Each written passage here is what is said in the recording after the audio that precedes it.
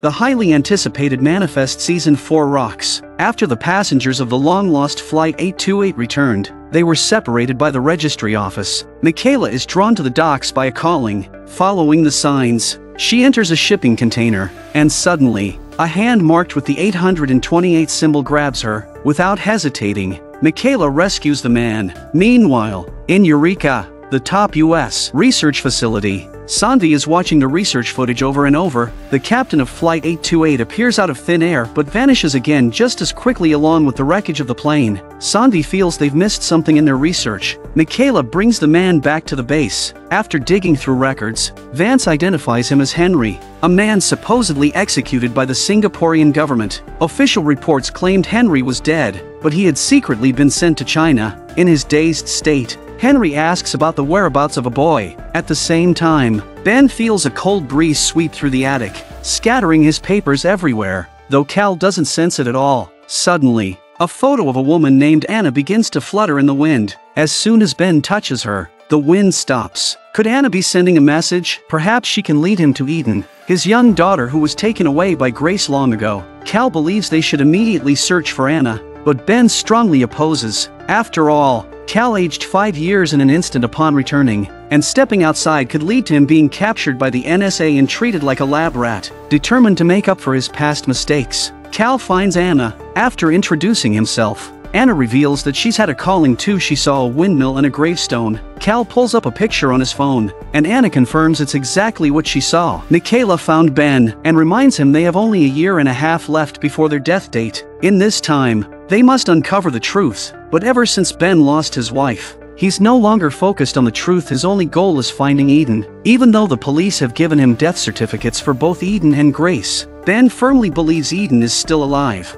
Zeke arrives at the base and grasps Henry's hand, instantly overwhelmed by a strange sensation. Hurriedly, Zeke rushes out of the base. The suffocating pain he feels is indescribable. Meanwhile, Henry keeps muttering about giving the box to the boy. As soon as he finishes speaking, Henry's physical stats skyrocket, prompting Vance to search for the box immediately. At this moment, Ben experiences another calling. To his surprise, he sees a spinning windmill on the death certificate and rushes to the location. Anna, also following a calling, arrives there as well. As Ben approaches the windmill, a cold wind blows again. Ben suddenly notices that the weather vane is pointing in a different direction, guiding him toward his daughter. Sure enough, he hears the cries of his daughter, but when he picks up the child, it's not her. Just as Ben is disoriented, Anna snaps him out of it. Ben gently sets the child down and quickly rescues a man who is drowning in the water nearby. Watching the touching reunion between the child and father, Ben tears up.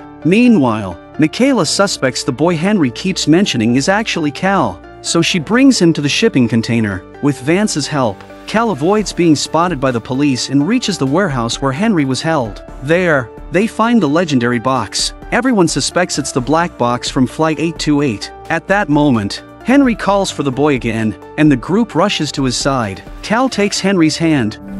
You are the boy. Confirming Michaela's suspicion, however, something strange happens the black box, supposedly from the plane, contains sounds from the Eureka lab. A dejected Ben returns home, overcome with an inexplicable sadness. He puts the death certificate in the fireplace and burns it to ashes while dust billows from Anna's home. Even more shocking, Anna walks into a room to find a little girl painting with Grace. Despite the cozy picture, Anna senses that something terrible is approaching. Meanwhile, Cal shows Sanvi his arm, where a scar seems to be linked to the black box. As the sound from the black box plays, the pain in Cal's scar intensifies, confirming they must uncover what really happened on the plane. Ben and Michaela return to the investigation base, searching for clues about Grace's whereabouts. As soon as they enter, Michaela feels a calling, and a bolt of lightning strikes the co-pilot of Flight 828. Ben also senses a calling.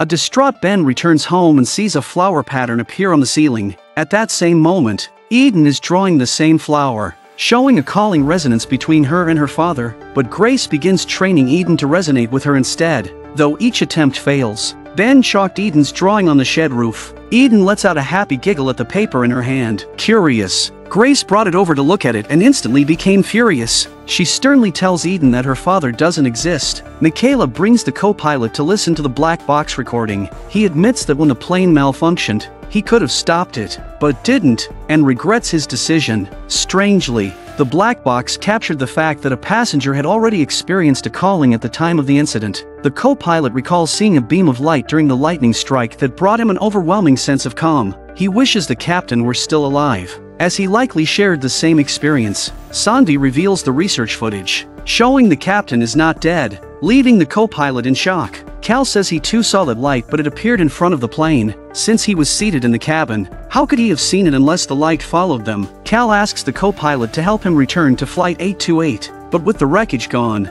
it seems impossible. The co-pilot likens it to a poem about flying along, chaotic burning path. Suddenly, Cal is called back to Flight 828. He senses his mother is in danger and insists on returning home, but the captain tries to convince him he belongs on the plane. A woman suggests Cal is powerful enough to return home on his own. Cal finally understands what happened after he touched the wing and disappeared he realizes the captain fears he's forgotten something important. On the other side, Adrian again persuades Grace to let the baby go, but Grace still has the same old story. Frustrated, Adrian visits Egan in prison, sharing his concerns and hopes of advice. Egan, however, tells him to keep a close watch on Grace and Eden. Just then, Egan receives an important phone call. Later, Ben visits the prison, where Egan reveals he knows Eden's whereabouts. In exchange, Ben must help him escape. Ben initially turns to leave, but Egan shouts that he's felt a calling and knows Eden has a gift for drawing. Unlike other girls who draw rainbows and flowers,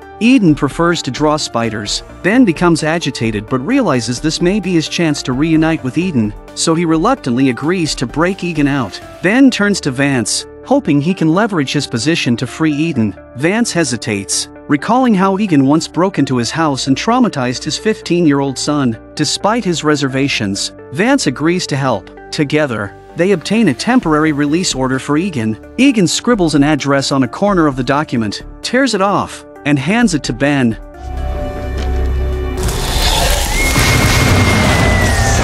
Henry explains that his survival is due to the dragon tattoo on his arm. When he was a child, he was struck by lightning, and his father told him the scar looked like a dragon and would make him strong. Only when his heart rate slowed did he start to resonate with the black box. He describes hearing a buzzing sound from the depths of the ocean. Sanvi opens the black box, and inside, overlapping noises play. Both Vance and Sanvi are bewildered by what they hear. Elsewhere, Officer Kyle informs Michaela that the NYPD has assembled a team to forcibly take Henry. Michaela is unsure of their motives, but her priority is to relocate Henry immediately. If they capture him, he'll become a research subject in a lab. At that moment, Henry and the others are still analyzing the sounds from the black box. Suddenly, the earthquake testing instruments begin to react. Sanvi quickly pulls the plug, not wanting another accident like last time. Michaela bursts in and immediately takes Henry on the run. Vance guides them through the streets via his computer, helping them avoid the police. However, unbeknownst to them, Henry has been implanted with a tracker. Suddenly, a garbage truck blocks their path, but Henry calmly opens the door, steps out, and tells Michaela to leave quickly, just as Henry raises his hands in surrender and slowly walks into the police. The call sends him back onto Flight 828.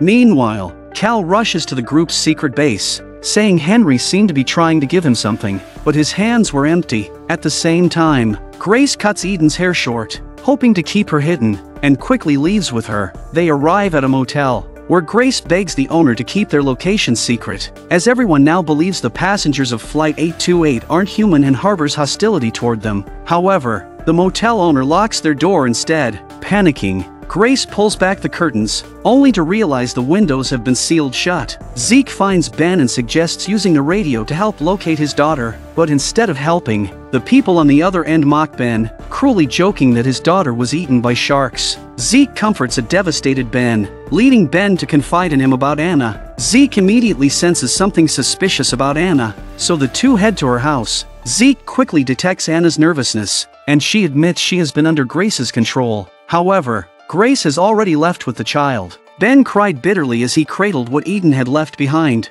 and Zeke was in agony for a moment. Meanwhile, as Eden paints inside, she sees dust swirling in the air. She immediately pulls out her drawing paper. At the same time, Adrian is called to a remote location. When Grace hears a noise and opens the curtains, she sees Adrian outside, prying open the windows to rescue them. Adrian confronts Grace, telling her it's wrong to kidnap a child. But Grace stubbornly insists Eden is her guardian angel. Reluctantly, Adrian takes them to his apartment for safety. Elsewhere, Cal sneaks into the 828 investigation base. With Dree's help, he manages to meet Henry during his checkup. Henry tells Cal that his mission is complete and that it's now Cal's turn to take over. He adds that Cal, like him, has a dragon inside his heart. Just when things seem to calm down, Cal notices the same scar forming on his arm as Henry's. Meanwhile, Sanvi continues tweaking the sounds from the black box, and suddenly, they hear a chilling noise. A big bird that flashes lightning flies from the sky,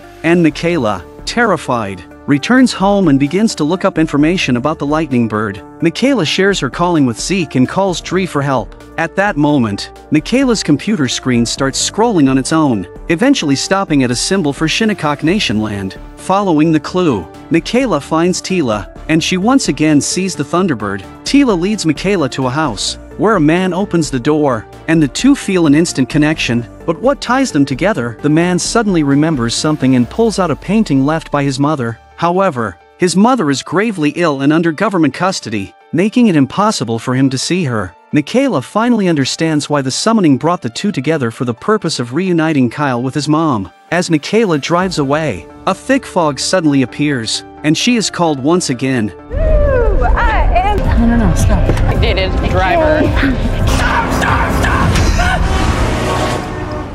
She immediately returns to Kyle's house to inform him of the situation. The two infiltrate the 828th Authority with the help of Zeke. Kyle burst into tears the moment he saw his mom. Zeke held the elderly woman's hand, sensing her love and gratitude for her son. All the woman wanted now was to go home. Kyle was amazed by Zeke's abilities. Zeke explained that ever since his resurrection, he had gained the power to read minds. Meanwhile, Cal and his sister were at home searching for clues when suddenly all the evidence on the table began to glow. Cal sensed that this light was the same as what he had seen on the plane. At that moment, Ben arrived at an apartment following the address Egan had given him. Just as he approached the building, he was knocked out with a blow to the head. In another room, Eden was alone when she noticed a glowing fly. She followed it into a pitch-black place. When Ben regained consciousness, the first thing he saw was Eden standing not far away. His eyes welled up with tears as he called out to his daughter. At that moment, Grace appeared and, without saying a word, grabbed Eden and took her away. Back at home,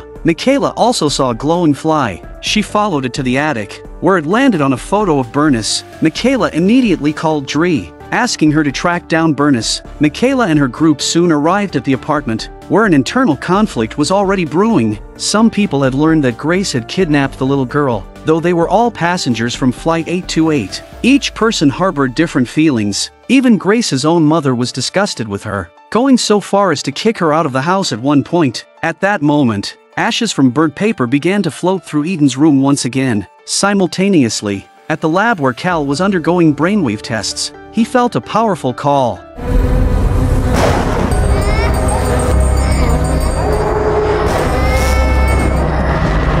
Realizing his dad and Eden were in danger, he rushed out. It turned out Bernice had planted a bomb for Grace, believing everyone wanted to take Eden away from her. This enraged Grace. She intended to blow up everyone there. At this moment, Cal and Vance's team also arrived at the scene. Cal managed to enter the apartment, since Grace had known Cal when he was a child. She let her guard down around him. Michaela seized the opportunity to rescue Ben, and then they dispersed the other 828 passengers. As soon as Ben saw Eden sleeping soundly, he quickly carried her out, but Eden kept crying for her mom, and Grace immediately noticed the sound. In a panic, she pressed the bomb's detonator. Cal quickly pushed Grace aside. Ben dashed out of the apartment with Eden, but as he tried to go back in,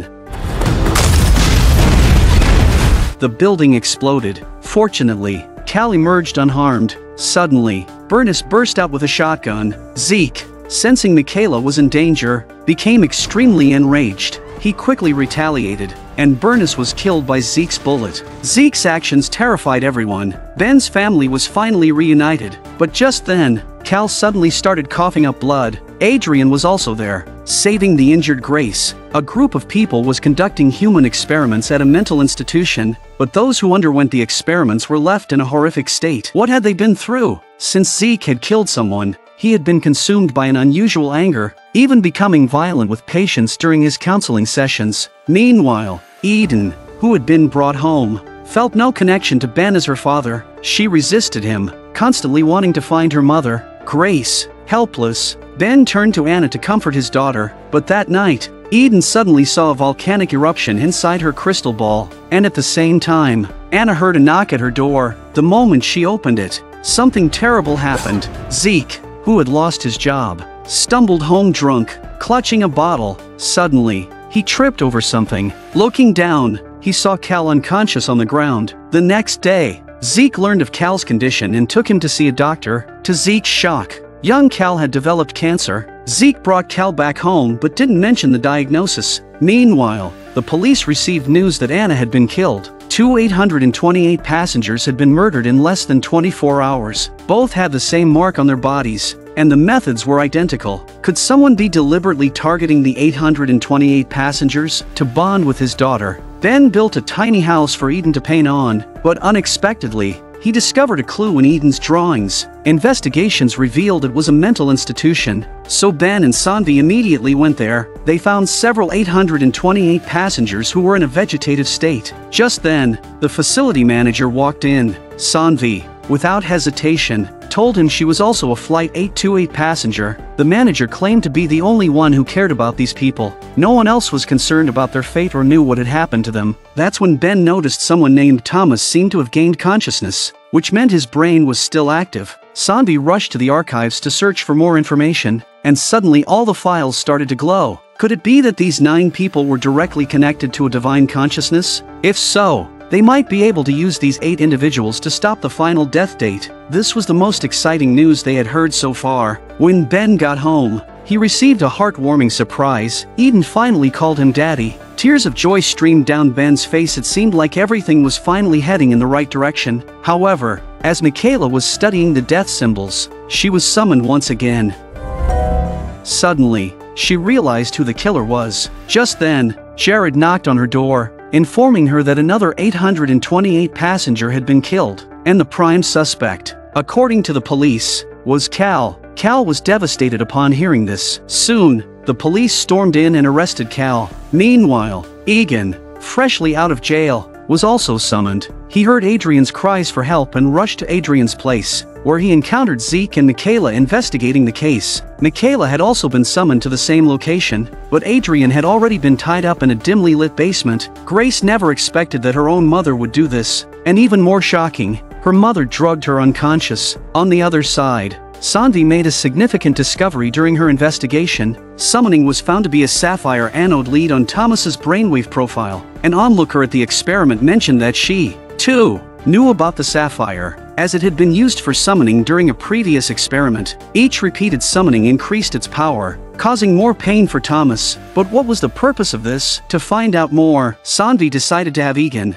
who was a photographer, undergo a brainwave test. This way, they could view his memories to uncover what had happened. As the current increased, Egan was in severe pain, so Sanvi stopped the procedure. Although Egan didn't feel any summoning, he recognized the documents on the table. He knew this place all too well. Egan then told Sanvi about Adrian's situation, but when the police arrived at the basement, Grace had vanished. Meanwhile, Grace's mother was forcing water down Adrian's throat, but fortunately, the police arrived in time to save him. She was arrested, and she confessed her belief that the 828 passengers would bring disaster to the world, so she planned to kill them all before the catastrophe struck. While waiting for his son at the 828 detention center, Ben suddenly heard a familiar tune. He rushed to his friend's house and played the same song on the piano. Suddenly, the numbers on the sheet music glowed. When combined, they formed a phone number. Ben dialed it immediately. The person on the other end was none other than Cal's doctor. It seemed there was no longer any way to hide Cal's condition. Just as the authority was about to draw Cal's blood, Ben arrived just in time with the doctor.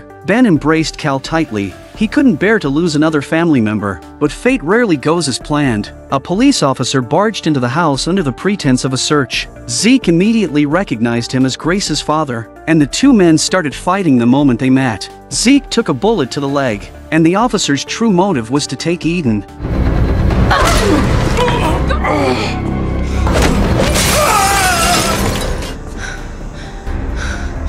Before long, more police arrived. A shaken Violet texted her boyfriend, telling him what had happened. To her surprise, her boyfriend TJ showed up. He had been summoned to find the sapphire and invited she to join him, but to everyone's shock, Egan had already gotten his hands on the sapphire. Ready or not, Omega Sapphire. Here I come. A woman then plunged her arm into the lava, and it instantly transformed into a powerful Kirin arm. It all began the day before, when Cal's cancer had reached an incurable stage, and he was told he might not survive beyond the next day. His devastated family prepared a large dinner to comfort Cal, hoping to make him feel better, but before anyone could enjoy the meal, they were all summoned back onto Flight 828. The terrified group felt that this summon was an ominous warning it seemed to be telling them that their time was almost up. On the plane, Cal saw the indicator lights flashing, and a suitcase fell from seat F7. That seat belonged to Thomas. Zeke and Jared rush off to find Thomas, and the three Michaela sisters arrive at the loft ready to grab a few bottles of champagne to keep the fear at bay only to find the compass spinning. Michaela felt the compass was trying to lead them to someone. Sanvi and Michaela followed the compass's direction and eventually found themselves in an old warehouse. As soon as they entered, a wall across from them was suddenly broken down. Egan and Leo had also followed the summons to this location. At this moment, the compass pointed to a heart painted on the wall. When Egan dug into the wall, he was shocked to find the bricks were shaped like tarot cards. Egan plowed through the wall and found several more small bricks with letters carved into them. Michaela suddenly realized that the tarot deck was the same as the one at home, and she immediately called Violet. Following the pattern of the tarot cards, they placed the letters onto the corresponding cards, as if they were on a treasure hunt. Meanwhile, Thomas was brought to Ben's house. Strangely, Thomas, who had previously been unresponsive, suddenly extended a trembling hand. As if he wanted to draw something, Cal handed him a blue crayon, but Thomas didn't take it was the color wrong? Sure enough, Cal handed him a red crayon instead. To everyone's shock, although Thomas was scribbling chaotically, he managed to draw the image of a volcanic eruption. At this moment, Michaela and the others had matched all the letters to the tarot cards, but one card was missing the volcano card. However, Thomas's drawing of a volcano clearly couldn't substitute for the tarot card. It was then that Michaela noticed a triangular metal grate at the base of the wall,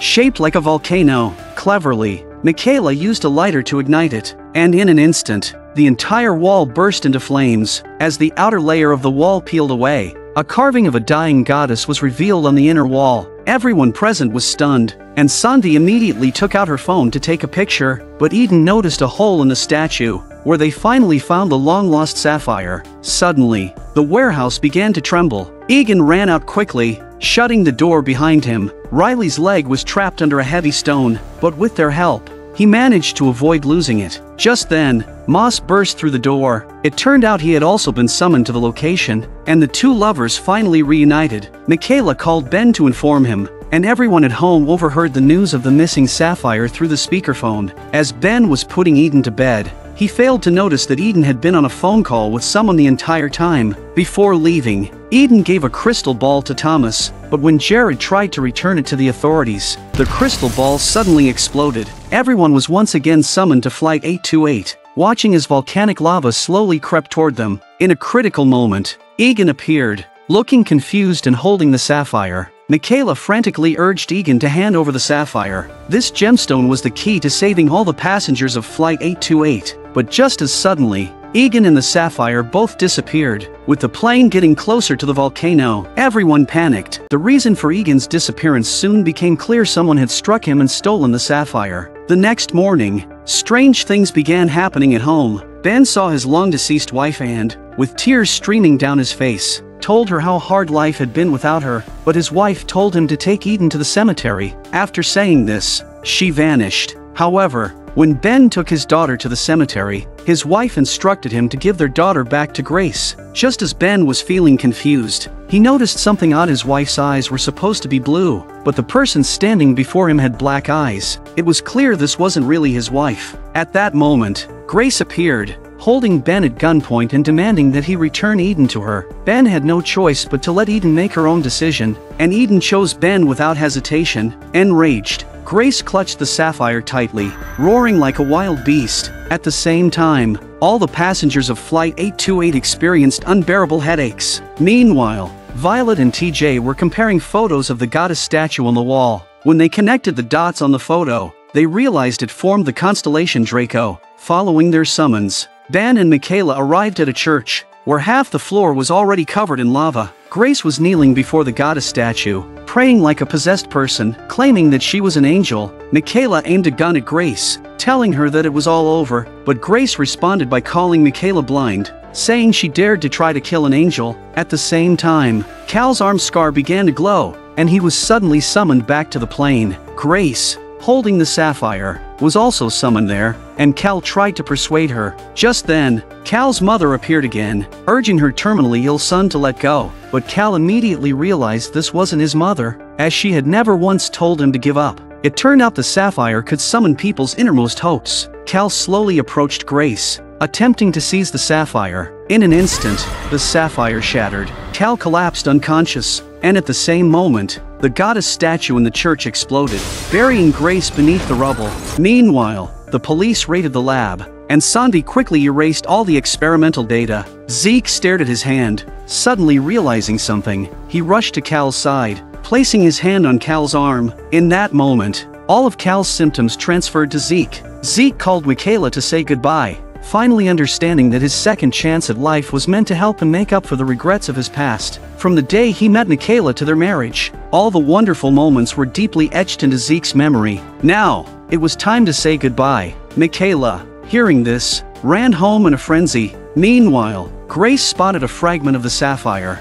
Just as she was about to reach for it, she fell into the lava. Without hesitation, Grace plunged her hand into the lava, screaming in agony from the burning pain. At first glance, it seemed that the sapphire fragment had embedded itself in her hand. By the time Michaela and Ben arrived home, Zeke had already collapsed on the floor, but miraculously, Cal had woken up. Could this be the legendary life for a life? However, no one could have anticipated that Grace would emerge limping from the church. And in an instant, lava began to erupt throughout the entire city. The cries of struggling people pierced the silence of the night. Since the return of Flight 828, the authorities had been detaining the returnees, fearing they had become mutated beings upon their return. Bethany, one of the detainees, was suddenly summoned, frantically demanding to be released to save Georgia. Amidst the chaos, Ben and Michaela seized the opportunity to escape, but every door was locked. Luckily Vance passes by to set the two free. Bethany, sedated and rambling incoherently,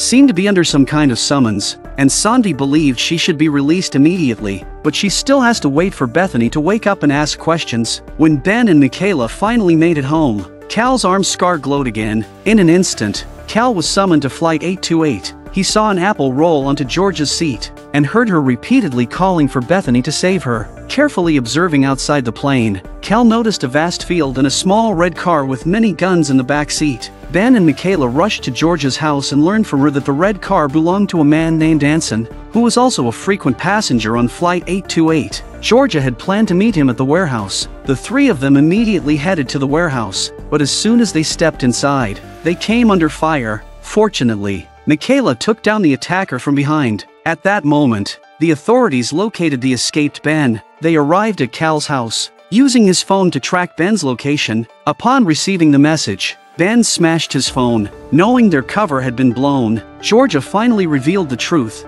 Out of the 191 returnees, nine had been living in a safe house all along. Georgia had been providing them with food and medicine, while Anson, using his status as a returnee, had contacted Georgia to find other passengers and claim the bounty. The authorities had issued a warrant, offering $50,000 for the capture of any returnee, dead or alive. So far, returning 828 passengers are the path to riches for all. Ben decided to send Georgia back to the safe house while he and Michaela voluntarily returned to the detention center. They thought this would protect the Flight 828 passengers, but to their surprise, that night, the warden and his men entered the lab and stabbed the captain. The next morning, Ben began acting strangely, scribbling on the walls nonstop. The warden quickly called Sanvi, and after Ben had filled the entire wall with writing, he finally stopped. Even Ben was bewildered by the markings. After studying the writings, Sanvi and Ben discovered that it was a map of the detention center, so the two rushed to follow the map's guidance and could finally find Stab the captain in a secret room. Sanvi rushes to his aid and at this moment Cal is once again summoned to the 828 airplane only to see an apple appear on the ground. When he picked it up, it was covered in blood. To his shock, the long-missing Angelina appeared on the plane. Ever since her arm had been burned, she had been summoned intermittently, seemingly connected to Cal in some way. They always seemed to find each other, though Cal wanted to keep his distance from her. Looking at the bloodstains on his hand, Cal realized that the scene he had just witnessed was real.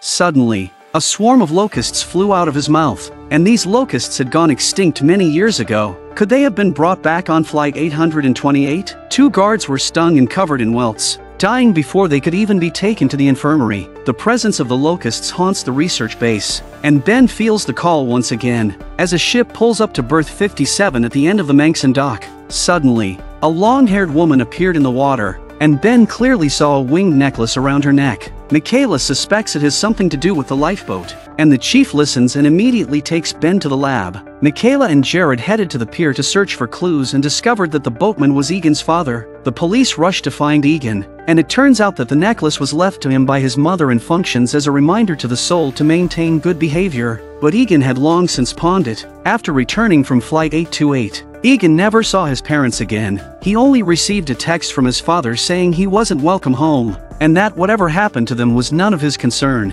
This has always been a source of pain for Egan. Ben suspects Egan's mother might be in danger, so he sends Michaela to check on her. Sure enough, they find bloodstains on the floor. Just as the three of them begin to panic, Egan's mom shows up. She admits to taking all the money, but refuses to say how she spent it. That's when Ben is summoned, and it turns out that he comes right up to a seaweed-covered steel box. Egan reveals that a woman is involved, and that he was her inside man in a series of nefarious deeds. Jared immediately moves to arrest her, and Egan's parents come to the detention center to see him. Although Egan is selfish and difficult, his parents have always loved him, seeing his father's long-lost smile. Egan finally lets go of his past resentment. Meanwhile, Cal is called to a large pit, where he finds the woman who had been sitting in seat 28B, gravely injured. He brings her home. This woman once gave Cal a warning to leave the plane. To figure out what's going on, Cal uses his dragon scar to summon himself onto the plane, only to discover an olive tree growing in seat 28B, while Cal and his sister step out.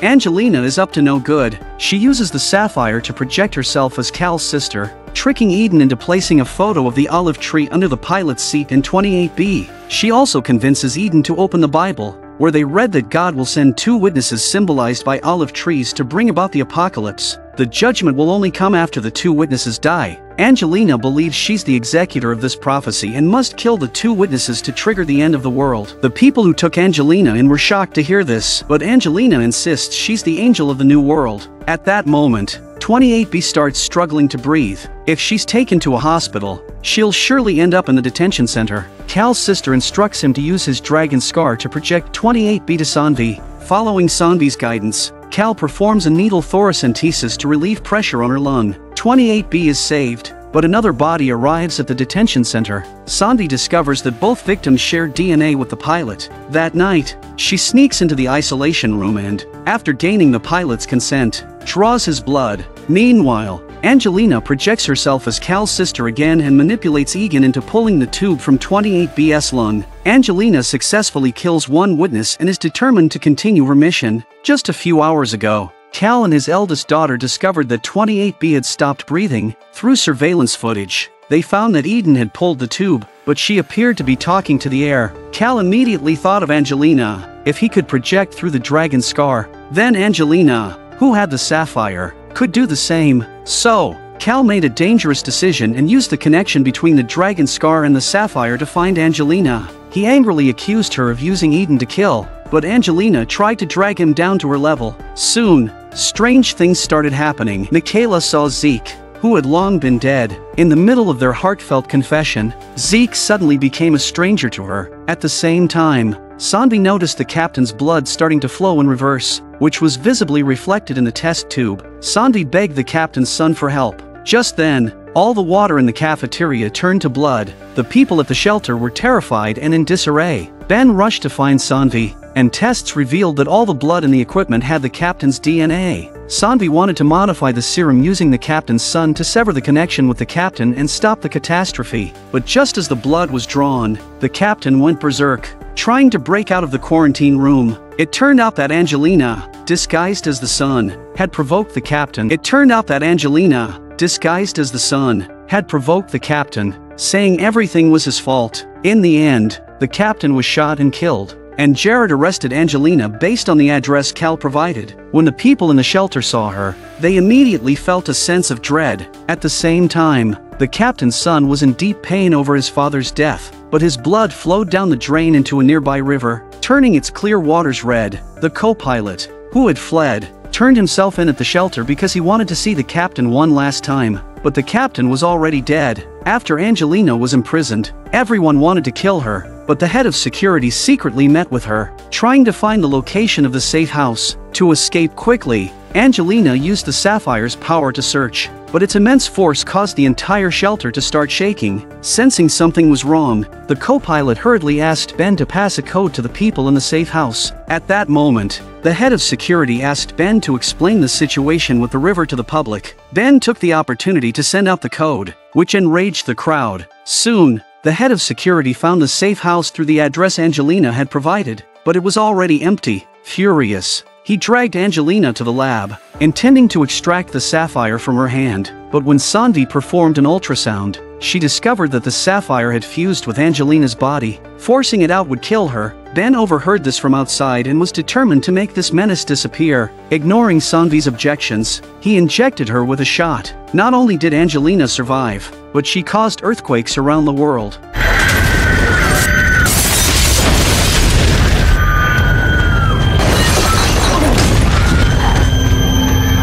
Egan crawled out of the rubble and rescued Angelina. The two fled to the relocated safe house, where those injected with the same serum developed rashes. Worse still, everyone's callings vanished. Ben believed he had ruined everything. Angelina's scream restored their callings. At that moment, TJ walked in holding a sheet of paper. On it was a drawing of the World Tarot card. Sanvi immediately pulled up the water test report and found that red algae were rapidly growing. The cause of the river turning red was the algae, not the captain's blood. Only hydrothermal vents in the Earth's crust could trigger such algae growth. Suddenly, the director barged in and arrested Sanvi. TJ thought of the volcano and the crystal ball. It seemed to be a warning that humanity's demise would be self-inflicted. Sure enough, the shelter was struck by another earthquake, and many people fell into the magma. The director ordered the immediate lockdown of the shelter, just as everyone was preparing for the worst. The doors opened, and everyone ran outside, but before they could get through, they were all dragged back inside. This included Ben's two daughters,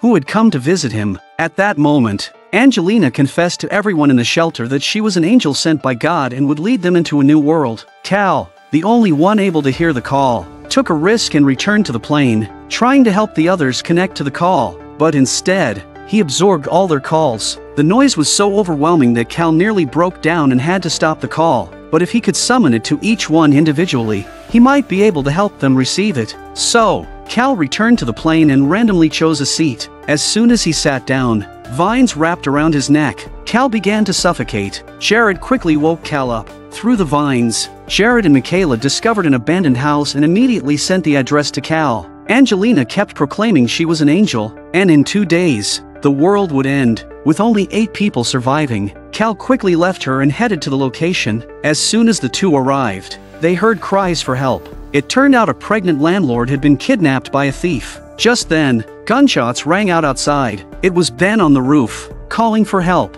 The landlord revealed that she had been digging through the wall for a long time, trying to save those trapped in the shelter, because the house shared a wall with the shelter. With Jared's help, They quickly broke through the wall. Ben's family was finally reunited, and the child the landlord was carrying was Jared's. Jared had developed feelings for Michaela, but now he realized he had a child outside. Michaela silently left. Watching the couple in love, Cal arrived at Thomas's bedside, only to be grabbed by the arm. The dragon tattoo awakened instantly, and they saw a peacock merging the blue sapphires on its wings. Cal suddenly remembered what Angelina said, only by working together could they open the door to the new world. Cal drew what he saw and began calling again. Countless images flashed before his eyes, and the chaotic noise filled his ears. Cal forced himself to stay calm and immediately called a meeting with everyone. He needed to match the images to each person. Cal was carrying too much. The burden of Flight 828 weighed heavily on him. Amid the noise, a sequence of numbers appeared. Ben analyzed the numbers and found they were the zip code for New York, but that code had been decommissioned, and the address was now a dilapidated building. Meanwhile, Sanvi was locked in a lab, tasked with finding a way to prevent a volcanic eruption. She and a fellow researcher found a chance to disable the security system. The moment they opened the door, they encountered Ben and his group. Sanvi was safely returned to the shelter. At the same time, Egan knelt down and professed his love to Angelina. With everyone watching, the two embraced, but Cal kept calling himself. Yet this time he felt nothing. The disappearance of Cal's call was a massive blow to everyone. With only one day left until the end of the world, what were they to do? Some had already said their goodbyes to their families. Cal hid in his room, crying, and Henry came in handing him a carved Chinese dragon, hoping to inspire Cal to keep fighting. Meanwhile, Egan and Angelina officially got married. As they basked in their happiness, there was a knock on the door. Adrian urged Egan that they couldn't wait any longer. At the same time, Thomas, lying in bed, suddenly awakened. Sanvi, watching through the monitor, saw Thomas speaking Hungarian repeatedly, but no one could understand him. Ben asked him to draw what he meant, and the result was a coffin. Would they all really die? Why were the passengers of Flight 828 chosen to decide the fate of the world? Elsewhere, Angelina told Adrian that she was a great angel sent from above. Adrian didn't believe her and mocked her. Just then, Angelina was suddenly called to the plane by Cal. To stop the end of the world, Cal decided to cooperate with Angelina, and they both extended their arms, but when Angelina realized he was trying to save the world, she immediately stopped the sapphire fusion. Cal was heartbroken by the betrayal. Meanwhile, Angelina began selecting the people who would survive. Adrian vehemently opposed her right to choose, but Angelina said that God would guide her to Noah's Ark. Upon hearing this, Egan immediately chose to leave with Adrian. He had originally proposed to Angelina to get the sapphire, but now, all he wanted was to save humanity and be with his family. Angelina cursed Egan, saying he would die a terrible death tomorrow. Meanwhile, Thomas kept talking to a photograph. Ben quickly realized he was talking about Noah's Ark. Sanvi suddenly remembered that she had once thrown a piece of wood embedded with a sapphire into the crack beneath Mount Storm King, but that piece of ark wood had been excavated from Mount Ararat when the plane returned. There was no time to waste, and Cal and the others rushed to the foot of the mountain. They stared in horror at the cracks in the ground, but despite their efforts, nothing worked. Realizing they could do no more, they resigned themselves to waiting for the end. They sat around a campfire, imagining what the apocalypse would be like. As everyone slept, Cal quietly got up and went to the crack, determined to do his part to save the world. Just then, Ben rushed over to stop him, but Cal had made up his mind he loved his father, his family, and the world. Cal extended his arm into the crack, and the passengers of Flight 828 all saw a blue light. They followed the light to the crack, and when they boarded Flight 828, they had no idea how much suffering and life-changing events awaited them. Suddenly, the ground began to shake, and magma gushed out. Just as everyone panicked, the 828 plane emerged from the ground. Was the plane here to take them home? Ben believed it was their only way out, and one by one, everyone boarded the plane. Just then, Angelina appeared. She ordered her people to board the plane, but suddenly, the ground began to tremble again. Angelina changed her mind and told her people to get off the plane, but the Sapphire's power had disappeared. As her followers prepared to board, Angelina flew into a rage. She would not allow anyone to betray her. In the chaos, Sanvi was accidentally shot in the arm. Ben picked up the gun and pointed it at Angelina. His wife's death had devastated him, and he wanted revenge. But just then, an explosion knocked Angelina aside, and Ben, choosing to let go of his hatred, carried her onto the plane. All the passengers of Flight 828 survived the apocalypse, but shortly after takeoff, they began having difficulty breathing. Soon, some of them started disintegrating like a volcanic eruption, reduced to ashes.